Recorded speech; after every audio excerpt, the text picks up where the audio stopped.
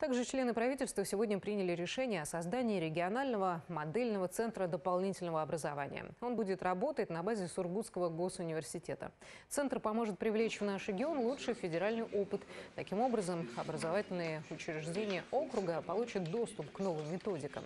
Это позволит вводить в ЮГРе самые современные технологии обучения и идти в ногу с общемировыми трендами. Сегодня в России действует федеральный модельный центр. Югорский будет работать с ним в тесном взаимодействии, а также сотрудничать с муниципальными подразделениями. В данном случае он будет способствовать созданию всяческих условий, в том числе информационных, и э, способствовать подготовке специалистов, которые работают с э, молодежью, разрабатывать э, различные программные продукты, методические рекомендации.